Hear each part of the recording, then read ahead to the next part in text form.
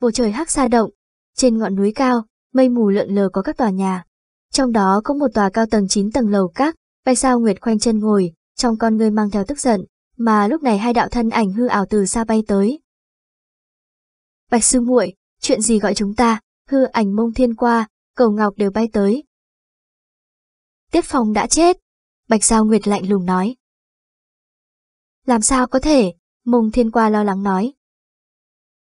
Nguyên Sơ Sơn vừa mới nói cho ta biết, nói là yêu Thánh Hoàng Diêu giết chết, liền ở bên ngoài xa phong thành, Bạch Sao Nguyệt nói. Thiên Ngọc Tôn giả mặc tử bào nhịn không được nói. Nguyên Sơ Sơn thật sự là vô dụng, đều giao dịch với Hắc Sa Động Thiên chúng ta, ba ngàn đầu thiết thạch thú bọn họ cũng thu, hiện giờ ngay cả tính mạng Tiết Phong cũng không thể bảo trụ. Dựa theo lý do của Nguyên Sơ Sơn, bọn họ đã đem hộ thân thủ hoàn năm đó bất tử đế quân luyện chế cho Tiết Phong một cái. Hoàng Diêu tuy rằng sau khi đoạt xá là ngũ trọng thiên yêu vương thân thể, nhưng vẫn có thể bộc phát ra thực lực tạo hóa tôn giả mới tấn. Mấy hơi thở thời gian, liên tục xuất đao, hộ thân thủ hoàn ẩn chứa lực lượng tiêu hao hầu như không còn, Tiết Phong cũng mất mạng. Mông Thiên qua thở dài nói. Tiết Phong trung quy là phong hầu thần tôn, dựa vào bản thân ám tinh chân nguyên thôi phát bảo vật, uy lực đều quá yếu, chỉ có thể bằng vào lực lượng bản thân vòng tay. Hắc xa nhất mạch ta, nhiều năm như vậy mới phát hiện một thiên tài có thể thành tôn giả, tiểu ngọc tôn giả có chút phẫn nộ. Nguyên Sơ Sơn thật sự là phế vật, nếu đã giao dịch, nên bảo trụ tánh mạng Tiết Phong, tỉ như để Tiết Phong ở trên núi, đừng đi chấn thủ thành trì. Bọn họ không thể bảo trụ Tiết Phong, lại lấy đi ba ngàn thiết thạch thú chúng ta, mông thiên qua lạnh lùng nói. Đao qua điện chúng ta luyện chế ba ngàn thiết thạch thú cũng không dễ dàng, để cho Nguyên Sơ Sơn cho chúng ta một cái công đạo.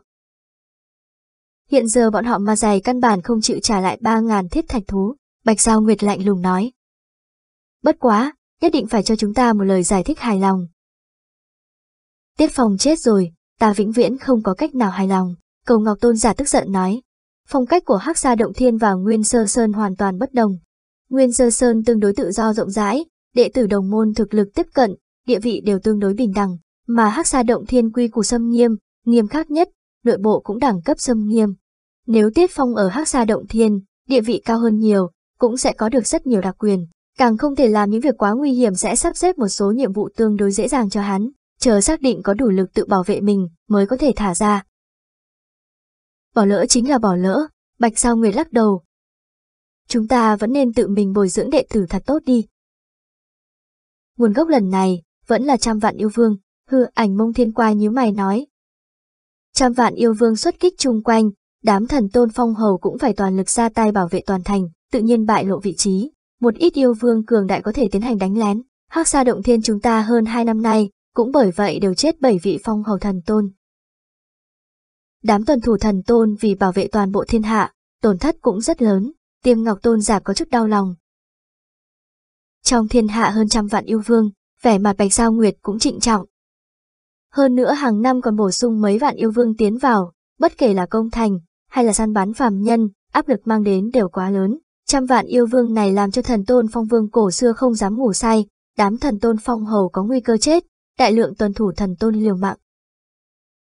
Hiện tại đang chờ đợi Bạch Ngọc Vương, Mông Thiên Qua nói.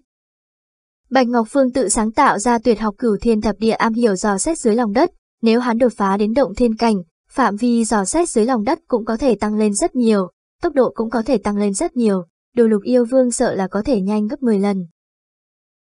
Hắn là pháp vực cảnh đỉnh phong, hơn nữa luân hồi nhất mạch, muốn đạt tới động thiên cảnh quá khó khăn, Bạch Sao Nguyệt nhẹ nhàng lắc đầu. Lúc trước hắn ở trong khoảng thời gian trên thế giới một thời gian, cũng vẫn không thể đột phá như trước. Mông Thiên Qua gật đầu. Trên chiến lược tầng cao nhất, yêu tộc kém rất xa, chỉ có thể trốn đi, nhưng số lượng yêu vương bình thường quá nhiều, thậm chí mấy chục năm sau, yêu giới sợ lại sinh sôi này nở ra một lượng lớn yêu vương mới, có lẽ lại đưa vào trăm vạn yêu vương. Bạch Sao Nguyệt, Cầu Ngọc cũng không lên tiếng. Đó là một vấn đề lớn. Hiện giờ Tam Đại Tông phái đều vì thế mà phiền não. Đỗ Dương Thành. Trong đình viện, An Hải Vương khoanh chân ngồi yên, tìm hiểu một chiêu xuân thu kiếp. Đối với An Hải Vương mà nói ngoại trừ yêu vương công thành, muốn đi đối phó yêu vương ra, những lúc khác hắn đều đang tu luyện. Xuân thu kiếp, An Hải Vương nhìn hư không, thời gian ở trong mắt hắn là thực chất. Trên không trung một đầu phi cầm yêu vương bay tới, ném xuống một phong thư liền lại rời đi. An Hải Vương đưa tay nhận lấy thư. Thư của Nguyên Sơ Sơn, An Hải Vương mở phong bì ra, lấy thư ra nhìn. Thân thể trầm ổn như núi lớn của An Hải Vương lại khẽ run lên, tay phải cầm thư cũng nhịn không được run rẩy, nhưng rất nhanh đã ổn định lại. Ánh mắt An Hải Vương càng thêm sâu thẳm, hắn nhìn chằm chằm lá thư này, ước chừng hơn 10 hơi thở, hắn không nhúc nhích cứ như vậy nhìn chằm chằm. Phong Nhi, đi tốt, An Hải Vương thanh âm khàn khàn, giấy viết thư trong tay hắn vô thanh vô tức hóa thành bột mịn. Yêu Thánh Hoàng Diêu, vi phụ, nhất định sẽ chém giết. An Hải Vương nhắm mắt lại, hồi lâu lại mở mắt ra tiếp tục tu luyện xuân thu kiếp. Màn đêm buông xuống, Mệnh Xuyên dò xét cả ngày, trở về nhà ở thành Giang Châu. A Xuyên, sao hôm nay lại về trễ như vậy? Liễu Thất Nguyệt cười hỏi. Đồ ăn đã tốt rồi. Mạnh Xuyên đi đến bàn ăn trong sảnh, mùi thức ăn tràn ngập, Mạnh Xuyên lại không có một chút thèm ăn. Làm sao vậy? Liễu Thất Nguyệt hỏi, nàng phát hiện chồng có gì đó không ổn. Trước kia Mạnh Xuyên thi triển lôi đình thần nhãn cả ngày, tinh thần mệt mỏi, nhưng vẫn luôn là chiến ý dâng trận. Tiết Phong đã chết, Mạnh Xuyên nói. Chỉ là trưa nay. Tiết Sư Huynh, Liễu Thất Nguyệt không thể tin được. Tiết Sư Huynh không phải đều đạt tới pháp vực cảnh sao. Yêu Thánh Hoàng Diêu đoạt xá lẻn vào thế giới nhân tộc, mặc dù là thân ngũ trọng thiên yêu vương, nhưng thực lực cảnh giới lại cực kỳ đáng sợ, còn ở trên An Hải Vương, Tiết Phong căn bản trốn không thoát, Mạnh Xuyên khàn khàn nói. Ta có chút mệt mỏi, phòng tiên tiến nghỉ ngơi một lát. Liễu Thất Nguyệt gật đầu. Được. Nàng cùng Tiết Phong tiếp xúc tương đối ít, thời kỳ chiến tranh, thần tôn chết trận quá nhiều, thần tôn càng quen thuộc chết trận, xúc động càng lớn. Năm đó thiên tinh hầu chết trận, Liễu Thất Nguyệt liền thương tâm bi thương hồi lâu, mà Tiết Phong chết trận, Liễu Thất Nguyệt có lòng đau xót, nhưng cũng không có cảm thụ mãnh liệt như Mạnh Xuyên. Trở lại nhà, Mạnh Xuyên nằm nghiêng trên giường, ôm chăn nhắm mắt lại. Hắn cũng có niềm vui và nỗi buồn, mỗi ngày dưới lòng đất đuổi giết yêu vương, thường xuyên cũng nhận được tuần thủ thần tôn cầu viện, nhưng rất nhiều lúc chạy tới, nhìn thấy thi thể tuần thủ thần tôn. Nỗi đau hết lần này đến lần khác. Lần này chạy tới, cũng chỉ là xa xa nhìn thấy yêu thánh hoàng diêu giết chết Tích Phong, hắn một chút biện pháp cũng không có. Hắn thực sự mệt mỏi, trái tim mệt mỏi. Liễu Thất Nguyệt lặng yên đi vào phòng, nhìn thấy trượng phu nằm giống như đứa nhỏ kia đã ngủ thiếp đi, Mạnh Xuyên ôm chăn, khóe mắt mơ hồ có nước mắt. A Xuyên cũng mệt mỏi, Liễu Thất Nguyệt nằm bên cạnh, dựa vào Mạnh Xuyên cũng ngủ cùng nhau. Con đường khó đi, ít nhất vợ chồng họ đã kề vai sát cánh. Mạnh Xuyên mở mắt ra, đã là đêm khuya yên tĩnh, mệt mỏi thi triển lôi đình thần nhãn đã không còn, cảm xúc nồng đậm lúc trước cũng ở trong giấc ngủ phai nhạt rất nhiều. Đứng lên, Liễu Thất Nguyệt cũng tỉnh. Ừm, ta đi thư phòng ngồi một chút, Mạnh Xuyên cười, hôn lên mặt thê tử. Bây giờ ta rất tốt, vẫn tràn ngập ý chí chiến đấu. Liễu Thất Nguyệt mỉm cười gật đầu. Mạnh Xuyên sau khi rời giường, đi tới thư phòng, thắp đèn. Ồ, đặt giấy vẽ lên bàn, giấy chấn nén lại, Mạnh Xuyên lại điều chỉnh sắc tố, nhìn tờ giấy trước mặt. Hắn muốn sử dụng một bức tranh, ghi lại một số người, một cái gì đó. Những người này những điều này, không bao giờ nên bị lãng quên, mãi mãi. Mạnh Xuyên cầm bút vẽ trong tay, lúc đặt bút không khỏi ngừng lại. Trong những năm qua, có quá nhiều người không thể quên. Ra, bút vẽ mạnh mẽ nhẹ nhàng đặt bút, bắt đầu cẩn thận vẽ một nam tử dung mạo tuấn Mỹ, mi tâm hắn có hỏa dựng ấn ký, khí độ bất phàm, ánh mắt sắc bén. Vẽ thiên tinh hầu. Thiên tinh hầu chính là thần tiễn thủ danh truyền thiên hạ, trong thần tôn cường đại thần tiễn thủ rất thừa thớt, thiên tinh hầu ở toàn bộ thiên hạ đều có thể xếp hạng hàng đầu, hắn là sư tôn của thê tử Liễu Thất Nguyệt. Mạnh Xuyên cũng nhiều lần gặp qua thiên tinh hầu, cũng vì khí độ của hắn mà khuất phục. Nhưng mà hơn 5 năm trước, thiên tinh hầu lại chết trận, là một trong 12 phong hầu thần tôn lúc đó Nguyên Sơ Sơn chết trận. Muốn đem khí độ của thiên tinh hầu, khí chất trong xương cốt vẽ ra, độ khó rất cao, Mạnh Xuyên vẽ rất nghiêm túc, vẽ hơn hai canh giờ mới vẽ xong.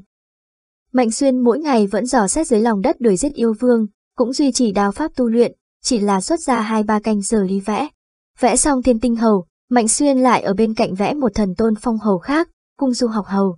Cung tư hầu, cũng là một trong những thần tôn phong hầu xuất hiện trong lãnh thổ Ngô Châu, dáng người hắn khôi ngô, là thần tôn rất uy nghiêm. Năm đó phụ thân Mạnh Đại Giang bị cấu hãm cấu kết với thiên yêu môn, bị giam giữ trong lao ngục Ngô Châu. Lúc ấy cung du học hầu phụ trách chấn thủ Ngô Châu Thành. Hơn một năm trước, khi cung tư hầu chấn thủ một phương, khi phóng thích đông đảo chân nguyên tơ tầm đối phó đại lượng yêu vương, một đội ngũ tứ trọng thiên yêu vương liên thủ đánh lén, cung tư hầu lấy một địch nhiều, tuy rằng nhiều mạng một vị tứ trọng thiên yêu vương, nhưng vẫn chết trận như trước. Mạnh Xuyên cùng cung du học hầu tiếp xúc không nhiều lắm, hắn vẽ chính là một màn cung thăm hầu chính trực ngôn ngữ ngăn cản mình dẫn phụ thân rời đi, bởi vì từ mình trải qua, trí nhớ khắc sâu, vẽ ra tự nhiên càng chân thật hơn. Người vẽ mặc dù thực tế, nhưng trong thực tế không còn nữa, khiến Mạnh Xuyên cũng đau lòng. Vị trí thứ ba, Mạnh Xuyên vẽ chính là Tiết Phong.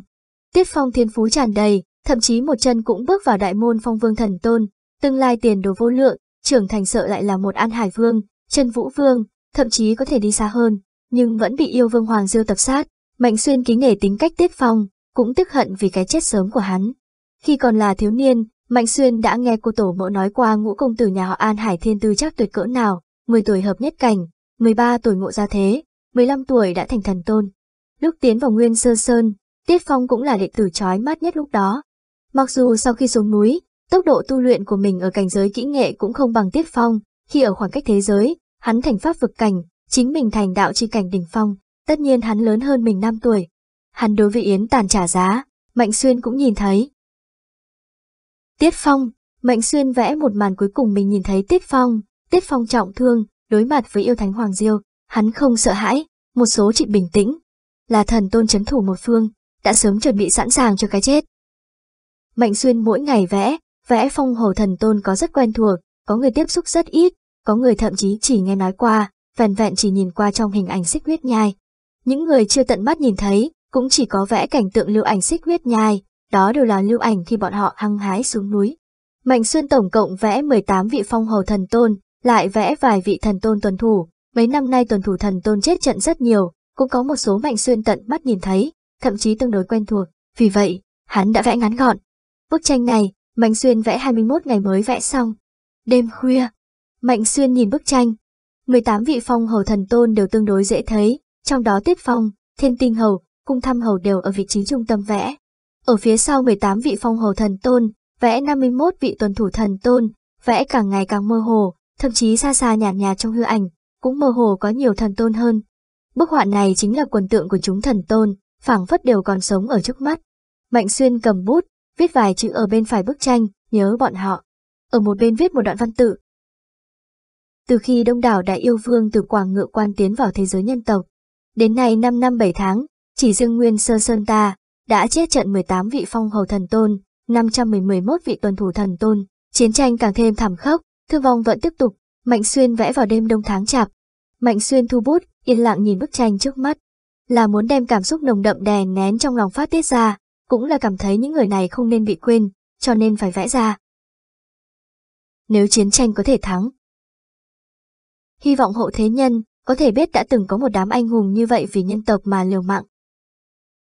Bọn họ nên vĩnh viễn ghi nhớ. Mạnh Xuyên yên lặng nói. Buông bàn trải xuống, Mạnh Xuyên đi ra khỏi thư phòng. Trên mặt đất có tuyết động, đêm khuya tháng chạp càng cực lạnh, Mạnh Xuyên lại không để ý. Tuy rằng vẽ ra bức họa này, nhưng hắn cũng hiểu được, ngay cả khi chiến tranh giành chiến thắng, hàng ngàn năm sau đó, mọi người thực sự không nhất thiết phải biết những anh hùng, có lẽ chỉ có người cố ý nghiên cứu, lật đống giấy cũ, mới có thể tìm được rất nhiều tên thần tôn.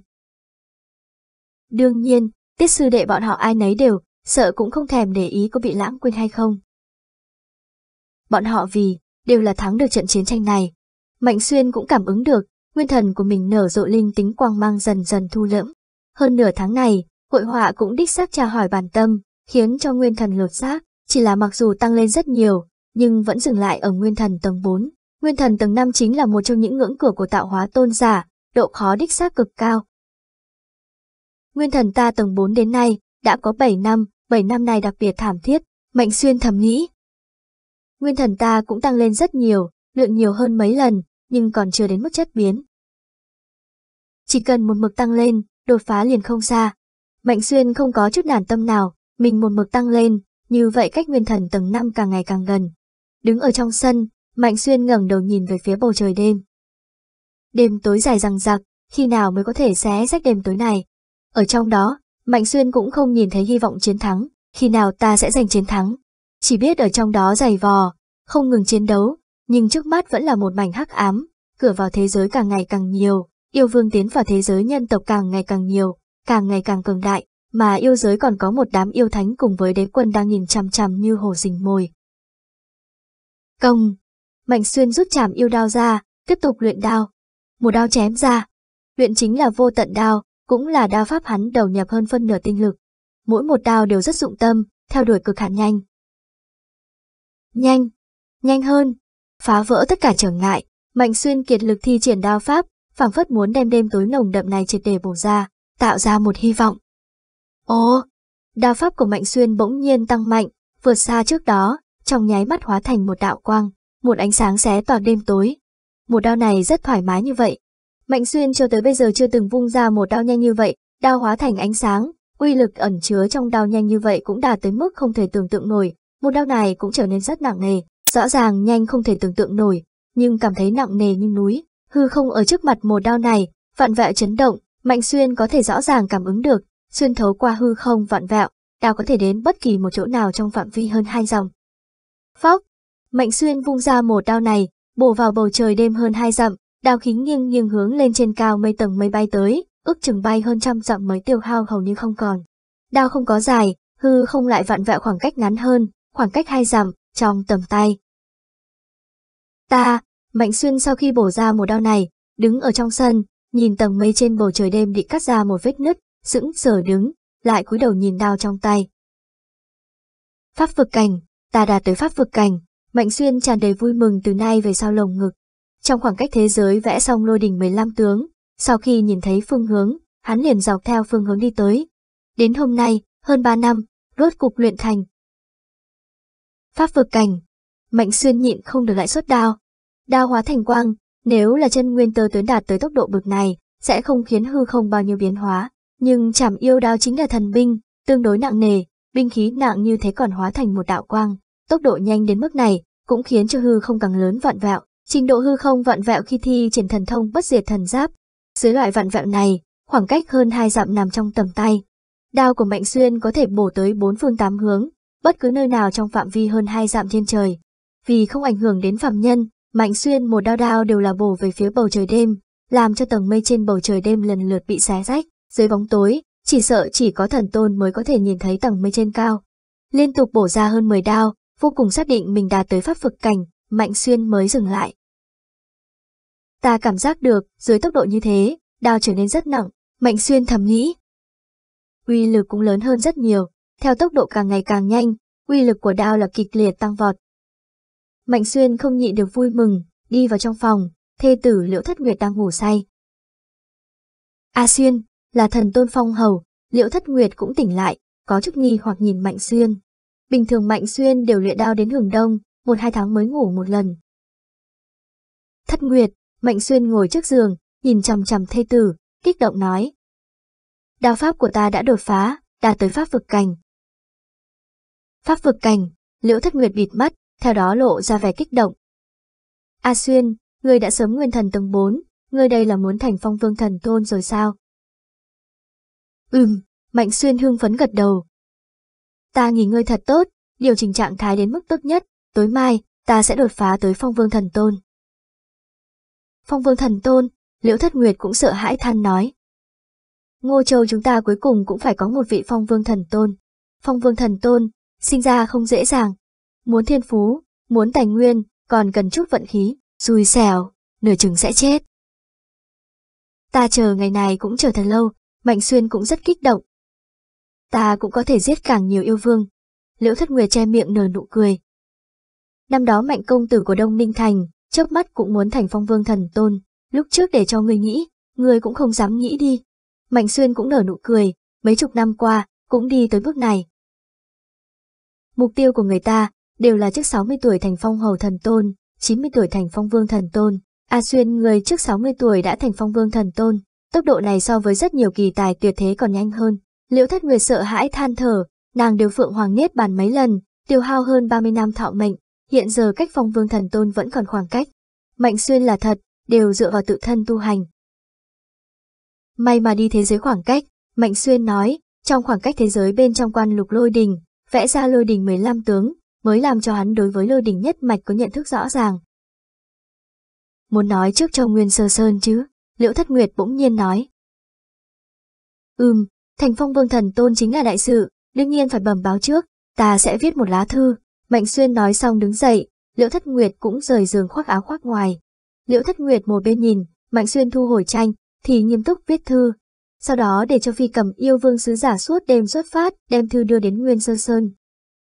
Nguyên Sơ Sơn, Động Thiên Các. Sáng sớm, lão quản sự đem một phong thư cung kính đưa đến bàn trước mặt Lý Quan Tôn giả. Tôn giả, thư Đông Ninh Hầu gửi tới, lão quản sự cung kính nói. Trong số đông đảo thần tôn ở Nguyên Sơ Sơn, cũng chỉ có một số ít có thể đem thư trực tiếp gửi cho tôn giả, Mạnh Xuyên tự nhiên là một trong số đó. Thư gửi cho ta, Lý Quan tôn giả có chức kinh ngạc, Mạnh Xuyên là đồ đệ của tần ngũ tôn giả, bình thường công việc là viết thư cho Nguyên Sơ Sơn chủ, một mình viết cho Lý Quan tôn giả vẫn rất ít. Buông chén trà nóng hổi trong tay xuống, Lý Quan tôn giả cầm lấy thư, mở triển tín ra xem, lại sửng sốt. Hắn sững sờ nhìn thư. Trong một thời gian dài, nháy mắt, Lý Quan tôn giả ngẩng đầu nhìn bầu trời, lại quay đầu nhìn bốn phía, hoa mai có tuyết động đang nở rộ, hương thơm ngát từng trận. Ta không có nằm mơ, Lý Quan tôn giả thì thào thì thầm, lại cúi đầu nhìn tờ giấy viết thư. Đây là sự thật. Chẳng bao lâu, hai đạo hư ảnh bay tới, chính là hóa thân của tần ngũ tôn giả và lạc đường tôn giả. Sư huynh, triệu hai chúng ta có chuyện gì? Lạc đường hư ảnh hỏi. Là chuyện của Mạnh Xuyên, hai người các ngươi nhìn xem, Lý Quan đưa thư đến trước mặt hai người. Tần ngũ nhận lấy thư, lạc đường cũng nhìn kỹ. Hai người đều chấn động. Đây là thư của Mạnh Xuyên, không phải là giả, lạc đường nhịn không được nói. Là thư của hắn, Trần Nguyên ấn ký không sai, Tần Ngũ cũng nói xong, nhìn về phía Lý Quan Tôn giả. Sư huynh, Mạnh Xuyên muốn thành phong vương thần tôn. Ta còn có chút choáng đãng, Lý Quan Tôn giả nhẹ giọng nói nhỏ. Không phải nói, hắn hao phí mười mấy năm thời gian, trong khoảng cách thế giới cũng tu hành gần một năm mới thành đạo chi cảnh đỉnh phong, sao lập tức trở thành phong vương thần tôn, chẳng lẽ sử dụng bảo vật bực như vấn tâm châu. Lạc đường sững sờ nói. Dùng vấn tâm châu, cũng không nhất định có nhanh như vậy đi. Cho dù là kỳ tài tuyệt thế, có thể thành phong vương thần tôn trước 90 tuổi, cũng không tồi rồi, rất nhiều đều qua trăm tuổi mới thành phong vương, lý quan tôn giả nhịn không được nói. Mạnh xuyên này, 55 tuổi thành phong vương thần tôn, hơn nữa cách nguyên thần ngũ trọng thiên cũng không xa, người đã nói với ta trước đây, về phương diện kỹ nghệ cảnh giới của hắn, cách tuyệt thế kỳ tài kém không ít. Lúc trước rõ ràng, lạc đường cũng cảm thấy hoảng hốt, nàng nhìn về phía tần ngũ. Tần ngũ, người làm sư tôn không phải nói, Mạnh Xuyên tu hành chậm, muốn tặng cùng hắn vấn tâm châu, giúp hắn thành phong vương thần tôn sao. Tần ngũ đứng tại chỗ, lại nhìn lá thư trong tay, nở nụ cười. Tiểu tử Mạnh Xuyên này, sẽ không nói dối, hắn đích thật là đạt tới pháp vực cảnh, và lại đêm nay sẽ thành phong vương thần tôn. Phong vương thần tôn 55 tuổi, nguyên thần đô sắp ngũ trọng thiên, thiên phú này còn ở trên An Hải Vương, chân Vũ Vương, thiên phú của thần tôn không phải là không thay đổi, chân Vũ Vương cũng là đại kính muộn thành, Mạnh Xuyên hiển nhiên cũng lột xác, thiên phú trở nên lợi hại hơn. Thiên phú ở trên An Hải Vương, chân Vũ Vương, ánh mắt lạc đường cũng sáng lên. Trời cao chiếu cố, trời cao chiếu cố, Lý Quan Tôn giả may mắn nói. Mạnh Xuyên hắn am hiểu dò xét dưới lòng đất, thiên phú còn cao như vậy, trăm vạn yêu vương uy hiếp, tam đại tông phái chúng ta đều khổ não không thôi, hiện giờ nhìn thấy hy vọng giải quyết. Ngày 27 tháng Chạp, tuyết rơi dày đặc, Mạnh Xuyên đang cùng thê tử Liễu Thất Nguyệt ở trong sảnh, ăn điểm tâm, uống trà nóng tán gẫu, khó có được cả ngày thả lòng, cũng không có đi xuống lòng đất dò xét yêu vương, để cho thể xác và tinh thần hoàn toàn điều chỉnh đến trạng thái hoàn mỹ nhất, về phần giết yêu vương, chờ sau khi thành phong vương thần tôn, giết yêu vương tự nhiên có thể nhanh hơn nhiều.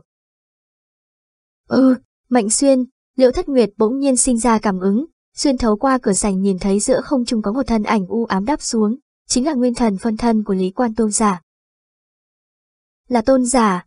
Mạnh xuyên, liễu thất nguyệt lập tức đứng dậy đi đến hành lang ngoài sảnh nên đón. Lý quan tôn giả đáp xuống trong viện dẫm lên tuyết động, lập tức cười cười, một bên liền xuất hiện hai đạo hư ảnh, chính là hư ảnh tần ngũ, lạc đường hư ảnh. Gặp qua tôn giả, ra mắt sư tôn, Mạnh Xuyên và Liễu Thất Nguyệt đều kinh ngạc tiến lên hành lễ. Có tôn giả đến, vợ chồng bọn họ cũng có thể đoán được. Nhưng ba người đều đến rồi, thật khó khăn. Tuy nói tần ngũ cùng lạc đường đều chỉ là nguyên thần hóa thân, cũng không có sức chiến đấu, nhưng hai người bọn họ nhiều nhất cũng có thể duy trì cửu tôn nguyên thần hóa thân, mỗi một nguyên thần hóa thân đều phải phân tâm đa dụng, hơn nữa nguyên thần hóa thân cần có ký thác vật, ba vị tôn giả đều đến Giang Châu Thành vẫn rất khó có được. Tiểu tử ngươi không tiếng động, liền đà tới pháp vực cảnh, tần ngũ kể ha hà nói. Một phong thư của ngươi, có thể làm ba người chúng ta hoảng sợ. ta mỗi ngày tu luyện, cứ như vậy đột phá, Mạnh Xuyên nói. Ánh mắt lạc đường tỏa sáng, nhìn kỹ Mạnh Xuyên, mỉm cười gật đầu nói. Ngươi phải phân nửa tinh lực đi dò xét yêu vương dưới lòng đất, còn có thể nhanh như vậy đã đạt tới pháp vực cảnh, đích xác rất giỏi. Lý quan cũng cười tùm tìm nhìn Mạnh Xuyên. Khi nào bế quan đột phá? Đợi lát nữa sẽ bế quan, Mạnh Xuyên nói. Ta sẽ hộ pháp cho ngươi, Lý quan mỉm cười nói. Phân thân nguyên thần của ta, chỉ có bản tôn ba bốn thành thực lực, nhưng đủ để bảo vệ ngươi chu toàn. Là đệ nhất nhân mơ hồ trong thiên hạ, nguyên thần phân thân của Lý Quan cũng có sức mạnh áp chế cửa uyên yêu thánh, càng đừng nói đến yêu vương khác. Tạ tôn giả, Mạnh Xuyên khom người hành lễ. Nếu ngươi có thể giải quyết uy hiếp của trăm vạn yêu vương, chúng ta phải cảm tạ ngươi, Lý Quan nói. Được rồi, ngươi cũng không cần mồi chúng ta, an tâm đi chuẩn bị bế quan đột phá đi. Ân, Mạnh Xuyên cũng chuẩn bị sẵn sàng. Ta ở bên ngoài chờ ngươi, Liễu Thất Nguyệt ở trong sảnh ngoài cửa tĩnh thất. Mạnh Xuyên cười gật gật đầu, liền đóng tĩnh thất lại. Trong phòng yên tĩnh, có ánh nến bình tĩnh thiêu đốt, Mạnh Xuyên khoanh chân ngồi trên bồ đoàn, từ trong ngực lấy ra một bình ngọc màu xanh, rút nút chai ra liền uống sạch sẽ, thanh tịnh thần thủy tiến vào trong cơ thể, nhanh chóng bị nguyên thần hấp thu, làm cho Mạnh Xuyên nguyên thần càng thêm trống rỗng, nắm trong tay đều tăng lên rất nhiều. Ta đạt tới nguyên thần tầng 4 nhiều năm, thân thể bất tử cảnh cũng có thể hoàn mỹ thừa nhận áp lực của quá trình đột phá, hẳn là sẽ rất thoải mái. Mạnh Xuyên có đủ tin tưởng, đây là kinh nghiệm đột phá của các thế hệ thần tôn. Bắt đầu đi. Nguyên thần lực dung nhập đan điền không gian, cũng dung nhập vào trong đan điền không gian mỗi một luồng ám tinh chân nguyên. Trong đan điền không gian u ám, có một viên cầu màu đỏ sậm ngưng thật, mặt ngoài có từng luồng khí mang màu đỏ sậm bay lượn, so với lúc mới thành ám tinh cảnh, viên cầu màu đỏ sậm này lớn hơn gấp 10 lần. Bởi vì nguyên nhân tu luyện bất tử cảnh thân thể, thân thể mạnh xuyên có khả năng thừa nhận đan điền không gian, là cực hạn phong hầu thần tôn trên lý thuyết. Từ xưa đến nay, những thần tôn phong hầu có kỳ ngộ, không gian đan điền lớn nhất cũng chính là như thế, ám tinh đồng dạng cũng đạt tới cực hạn, lớn hơn nữa à, bản thân ám tinh sắp bắt đầu đột phá, cảnh giới không đủ, đột phá chính là chết.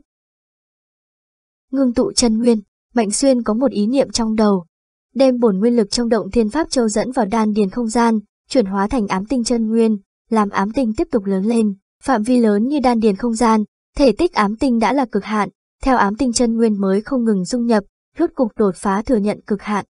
Âm âm âm. Quả bóng màu đỏ sẫm đó, nhanh chóng thu hẹp lại và co lại mạnh mẽ. Nguyên thần lực của Mạnh Xuyên dung nhập vào mỗi một viên cầu màu đỏ sẫm khi nó bắt đầu sụp xuống, tự nhiên lấy pháp vực cảnh lôi đỉnh nhất mạch hào quang tướng dẫn dắt. Hào quang. Mạnh Xuyên chủ động dẫn dắt, càng thêm nhanh chóng. Âm âm. Viên cầu màu đỏ sậm trong nháy mắt co rút không ngừng gấp vạn lần, cho dù là nội thị đan điền, cũng không nhìn thấy. Toàn bộ đan điền không gian, một mảnh hắc ám, ngoại trừ động thiên pháp châu lẻ loi ra, không có vật gì khác.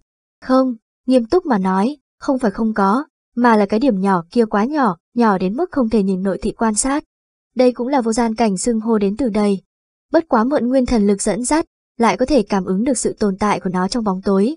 Nó là một điểm rất nhỏ, giờ phút này đang kịch liệt suy sụp, dưới sự dẫn dắt của quang mang tương cảnh giới, nó bắt đầu dần dần ổn định. Cảnh giới không đủ là không cách nào ổn định tồn tại, một chút rất nhỏ sẽ nổ tung ra.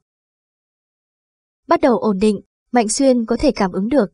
Pháp vực cảnh, đại biểu cảnh giới đủ cao minh, có thể tự thành pháp vực, pháp vực cũng là một chút tồn tại quy tắc. Thành rồi. Trong bóng tối, có thể cảm ứng được điểm nhỏ kia hoàn toàn ổn định, bắt đầu hấp thu lực lượng bên ngoài, phun ra từng luồng chân nguyên. Chỉ thấy trong đan điền không gian, từ lúc trước một mảnh hắc ám, bỗng nhiên xuất hiện một đoàn nguồn sáng màu trắng. Hàng ngàn tia sáng trắng chiếu sáng từ lõi sang bốn phía. Càng hạch tâm, hào quang càng dày đặc, cũng hình thành một đoàn nguồn sáng. Càng ở rìa, ánh sáng càng mỏng, một lượng nhỏ ánh sáng quét qua.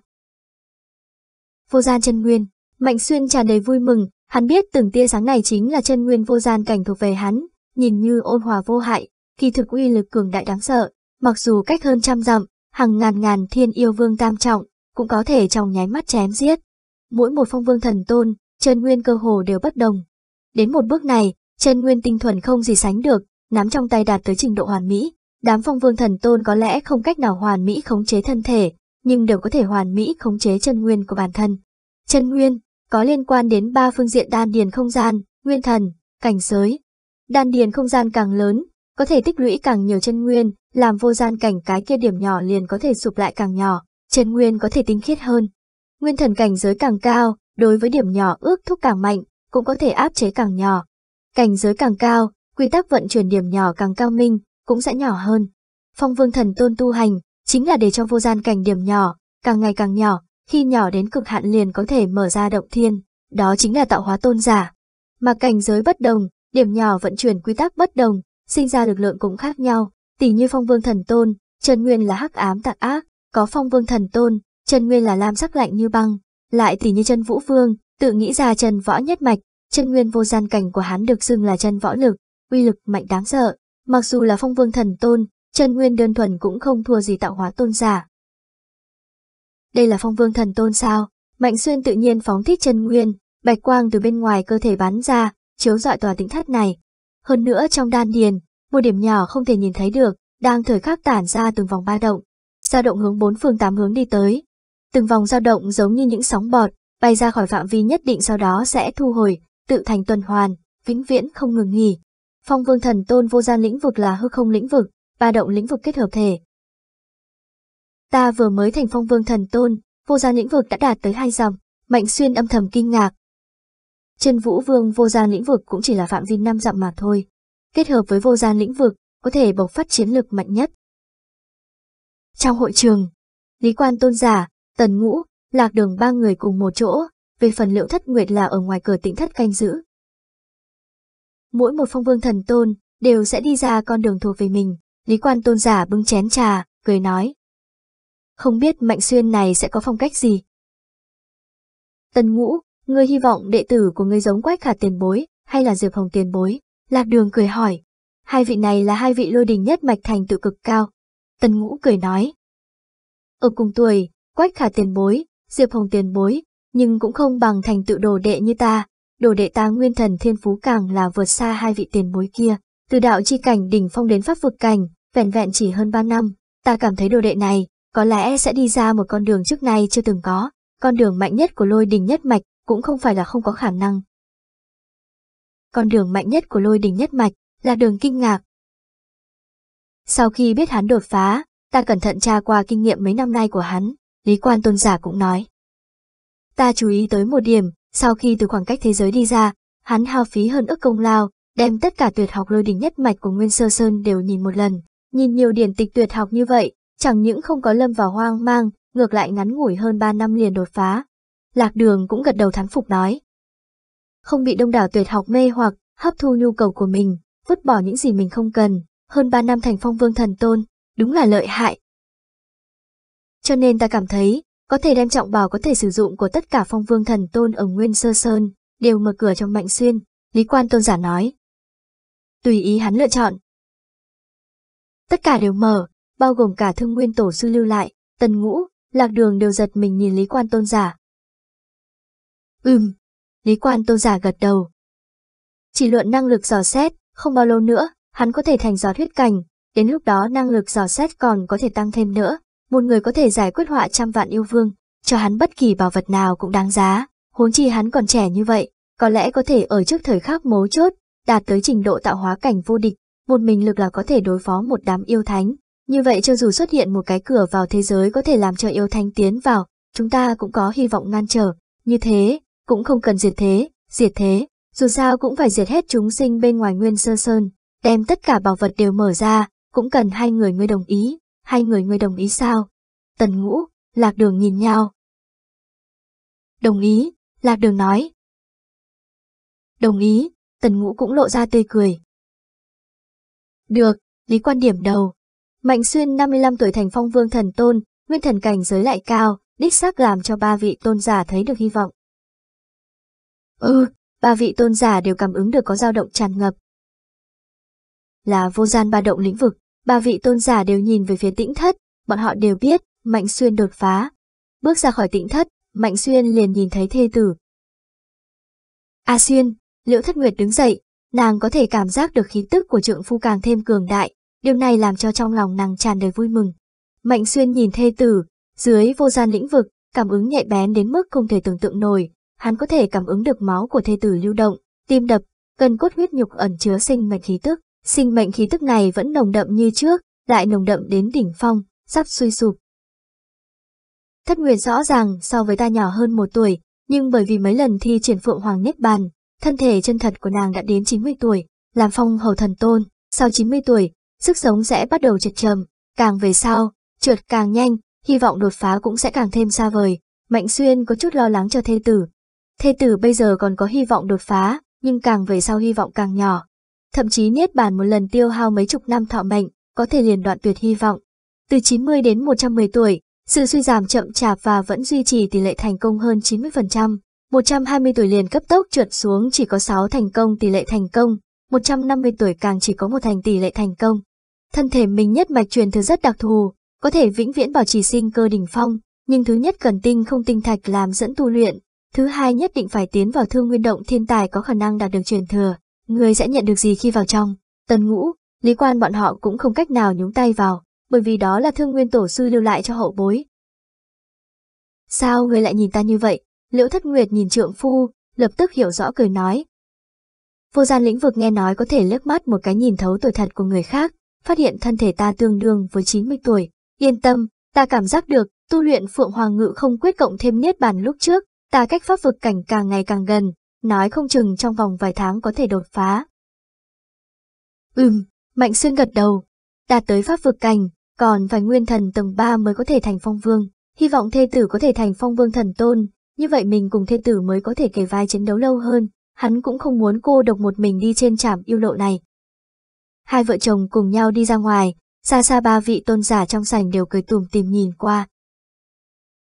Tôn giả, sư tôn, Mạnh Xuyên và Liễu Thất Nguyệt đều hành lễ. Mạnh Xuyên, chúc mừng, Tần Ngũ Hư Ảnh cười nói. Thành phong vương thần tôn, ngươi cũng chân chính trở thành một thành viên cường giả của thế giới nhân tộc. Hư Ảnh Lạc Đường cũng nói. Phong vương thần tôn đều có sở trường riêng, ví dụ như huyễn thuật độ dục vương, thuật luyện độc của Lữ Việt Vương, đều là mạnh nhất trong nguyên sơ sơn. Chân vũ vương chân võ lực cũng là đặc thù sáng tạo, phong vương thần tôn vượt cấp chiến tạo hóa tôn giả cũng là chuyện thường xuyên, càng xuất hiện qua một thời đại phong vương thần tôn vô địch. Mạnh xuyên gật đầu, số lượng phong vương thần tôn thưa thớt, thời đại nguyên sơ sơn mới có 14 vị, Mạnh xuyên là thần tôn phong vương thứ 15 của nguyên sơ sơn thời đại này.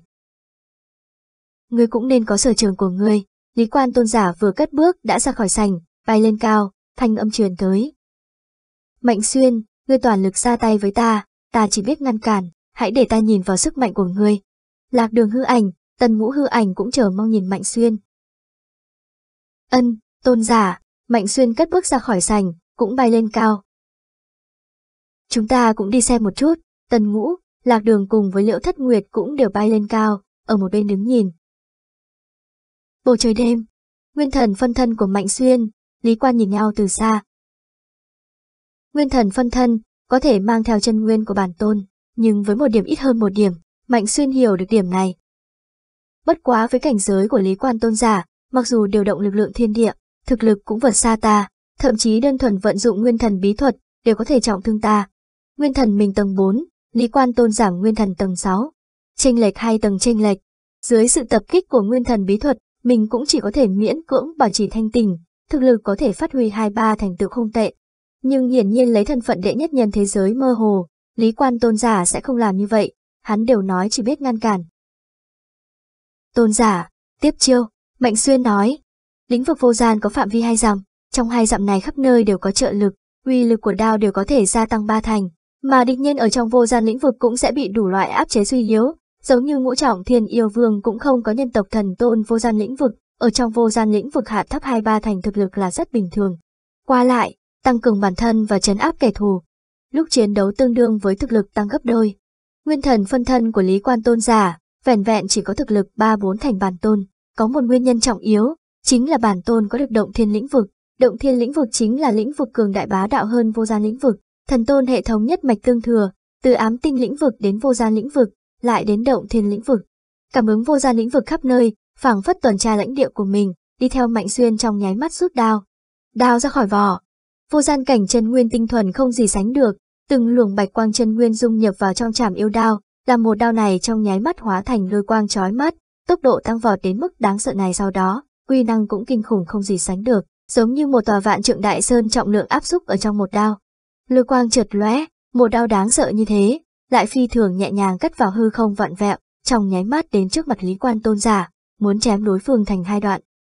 Phóc, tay phải Lý Quan Tôn giả duỗi ra, ở trước cổ họng hắn ngăn trở mũi đao, làm mũi đao đình trệ xuống, từ cực hạn nhanh đến trong nháy mắt tĩnh lặng, chảm yêu đao truyền đến lực phản chấn khiến thân thể Mạnh Xuyên chấn động, nội tạng phủ tạng đều bị chấn thương, chẳng qua thân thể cũng trong nháy mắt khôi phục.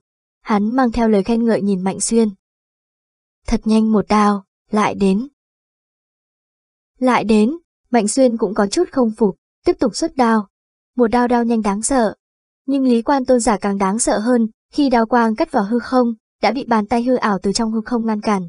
Lý Quan Tôn giả đồng thời lui về phía sau, một dặm rưỡi, hai dặm, hai dặm nửa khoảng cách. Sau khi ra khỏi phạm vi vô gian lĩnh vực, tốc độ đao pháp Mạnh Xuyên cũng giảm xuống, nhưng vẫn có thể một đao tập kích đến gần. Trong vòng ba dặm, đều có thể một đao trong nháy mắt đến. Lui ra ngoài hơn ba dặm, Lý Quan Tôn giả liền khẽ gật đầu. Được rồi, có thể dừng tay. Hoàn toàn bị áp chế, Mạnh Xuyên rõ ràng cảm thấy mình cường đại hơn rất nhiều, nhưng cảnh giới hoàn toàn bị nghiền ép. Ha ha, đừng nhụt chí, tần ngũ hư ảnh cười nói. Lý sư bá ngươi luận cảnh giới hẳn là đệ nhất thế giới nhân tộc hiện giờ, ngươi vừa mới thành phong vương thần tôn, hắn tự nhiên có thể dễ dàng trêu chọc ngươi. Lý quan tôn giả bay tới, cười nói. Ngươi rất tốt rồi, đào pháp của ngươi không học tâm ý đao, thiên địa du long đao, theo đuổi tốc độ cực hạn, đao pháp này của ngươi uy lực cũng rất mạnh, uy lực đơn thuần, miễn cưỡng có uy lực chiêu dấu phong vương thần tôn đỉnh phong. Liễu Thất Nguyệt nghe xong ánh mắt sáng người, Mạnh Xuyên cũng cẩn thận lắng nghe. Đừng cao hứng quá sớm, Lý Quan Tôn giả nói. Thần tôn đều có sở trường riêng, đào pháp của ngươi theo đuổi chính là nhanh cùng uy lực, nhưng mất đi sự thay đổi, tuyến đường rất dễ dự đoán, vì vậy, ta đã dễ dàng ngăn chặn nó một lần nữa và một lần nữa. Có phong vương thần tôn, uy lực có lẽ không lớn bằng ngươi, nhưng biến hóa nhiều, đa dạng, sức chiến đấu chính diện cũng mạnh hơn ngươi. Hiểu rồi, Mạnh Xuyên gật đầu, hắn còn tu luyện thân pháp, đào pháp vân vụ long xả phát huy biến ảo đến cực hạn, nhưng còn chưa tới pháp vực cảnh, hai môn đao pháp phối hợp mới là phương thức chiến đấu của mình. Chỉ cần đi xuống, tần ngũ hư ảnh nói. Cực hạn một đạo, cũng rất cường đại, ngươi chỉ cần làm cho đao của mình càng ngày càng nhanh, khi sắp đến trình độ nhất định, Lý sư bá ngươi sợ cũng không ngăn được. Lý quan nở nụ cười. Ngươi lại toàn lực thi triển thân pháp, để cho ta xem tốc độ thân pháp của ngươi. Tần ngũ, lạc đường cũng đều nhìn kỹ. Tốc độ của Mạnh Xuyên rất trọng yếu, thăm dò yêu vương dưới lòng đất, tự nhiên là tốc độ càng nhanh hiệu suất càng cao. Ân, Mạnh Xuyên gật đầu.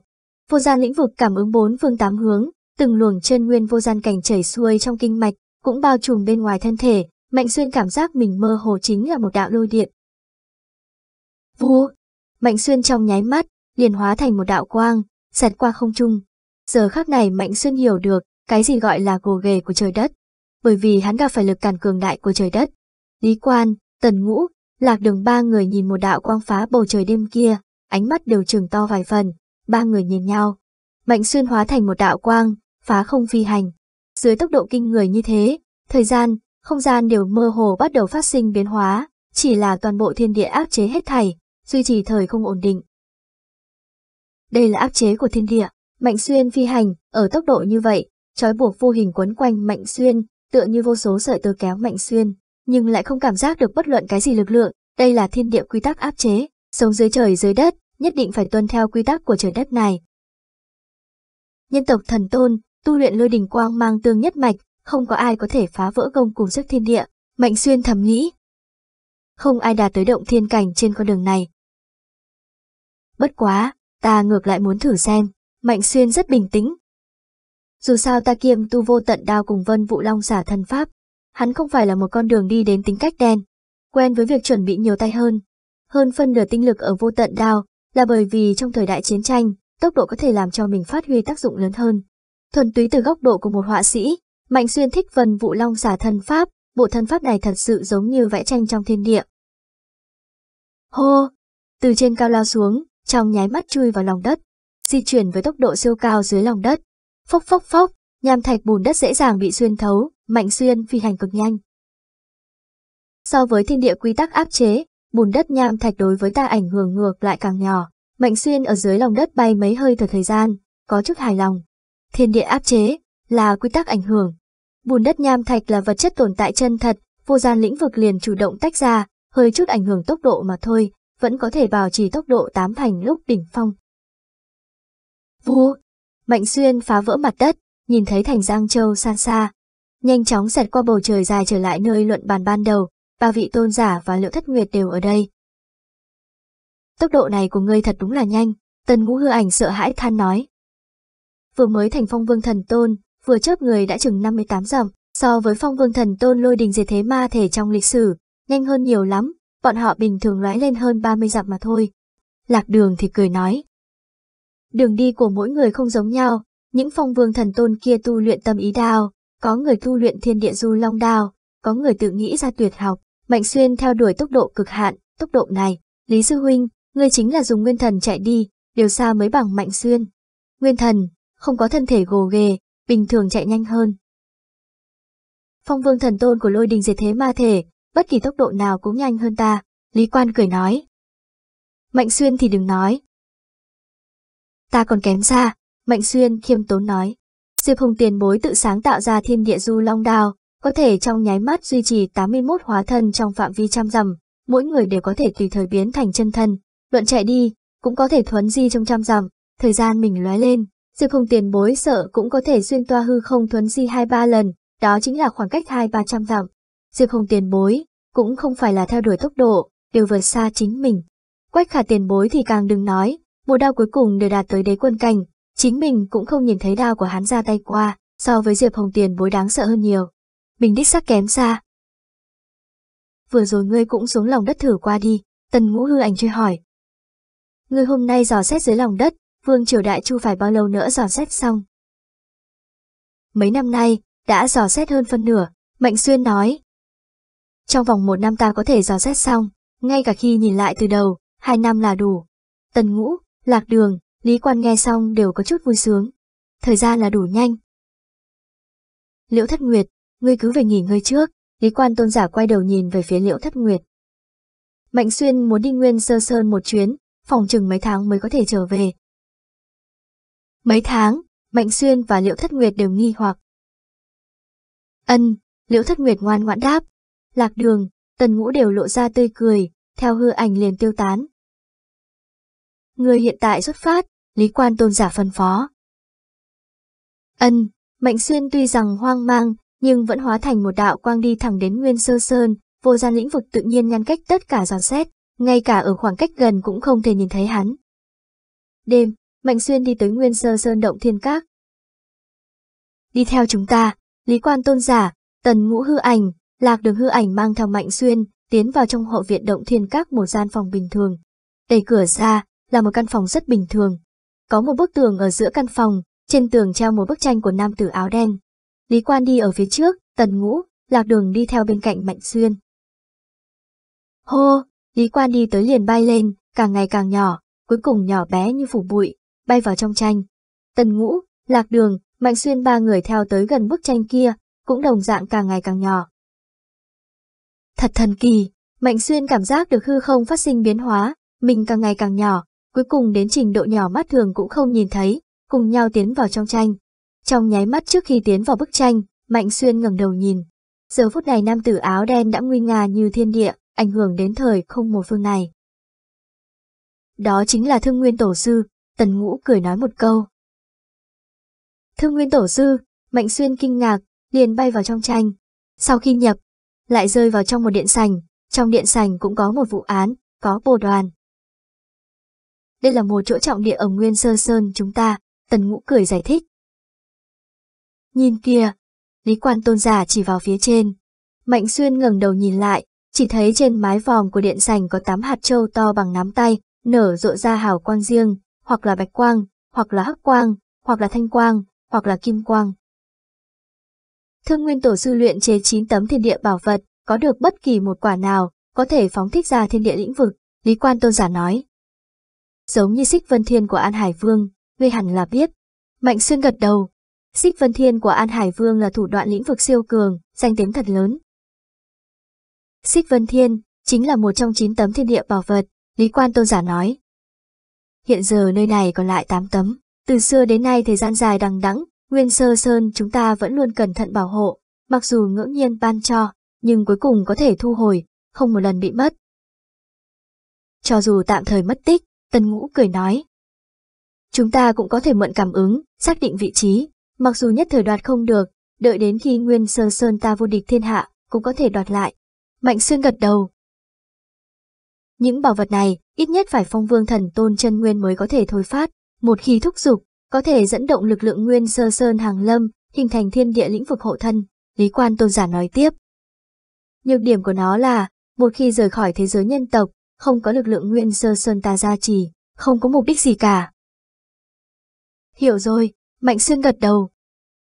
Tôn giả, ngươi nói thiên địa lĩnh vực, là lĩnh vực đế quân. Phong hầu thần tôn, có ám tinh lĩnh vực. Phong vương thần tôn, có vô gian lĩnh vực. Tạo hóa tôn giả, có động thiên lĩnh vực. Đế quân, trong truyền thuyết, liền có thiên địa lĩnh vực. Đây là mô phỏng, Lý quan tôn giả gật đầu. Mô phỏng bảo vật do đế quân thiên địa lĩnh vực chế tạo thành, không có khả năng hoàn toàn đạt tới uy lực đế quân lĩnh vực, nhưng thương nguyên tổ sư lại vứt bỏ các phương diện khác, theo đuổi hiệu quả hộ thân, làm uy lực hộ thân đủ cường đại. Tần ngũ cũng gật đầu nói. Chính là cửa uyên yêu thánh tự mình ra tay, dưới sự suy yếu của xích vân thiên lĩnh vực, cũng sẽ chỉ còn lại có ba bốn thành uy lực. Nếu là đỉnh phong ngũ trọng thiên yêu vương, xuất thủ cũng không công phá xích vân thiên lĩnh vực. Mạnh xuyên gật đầu. Phía trên bất luận một quả bảo vật, đều cùng xích vân thiên tương đương, Lý quan tôn giả nói. Nếu ngươi muốn chọn, liền chọn lôi đình nhất mạch, đương nhiên chúng ta chuẩn bị cho ngươi rất nhiều bảo vật, ngươi có thể tùy ý chọn hai kiện. Tùy chọn hai kiện, Mạnh Xuyên động tâm. Nào! Lý quan tôn giả đi tới bên cạnh cái án kia, chỉ vào năm quyển sách trên bàn. Bìa đầu tiên có hai chữ dị bảo. Quyền dị bảo này ghi lại rất nhiều vật kỳ lạ, Lý quan tôn giả lại chỉ về phía quyển thứ hai. Bảo vật được ghi lại trong nguyên bảo này, tương tự như xích vân thiên, đều là lực lượng xuất phát từ nguyên sơ sơn, uy lực ở thế giới nhân tộc đều rất lớn, rời khỏi thế giới nhân tộc vô dụng. Mạnh xuyên cũng ở đó nhìn, liếc mắt một cái có thể nhìn ra. Cuốn sách thứ ba, trên đó viết tạo hóa. Quyển này ghi lại, là binh khí, bí bảo cấp độ tạo hóa cảnh, Lý Quan Tôn giả nói. Quyển thứ tư, viết đế quân. Quyển này, ghi lại chính là binh khí đế quân cấp, bí bảo, người có thể tùy chọn. Quyển thứ năm, viết kiếp cảnh. Quyển cuối cùng này, Lý quan sát quyển sách kiếp cảnh mỏng nhất, do dự một chút, mới nói. Là binh khí, bí bảo của kiếp cảnh đại năng,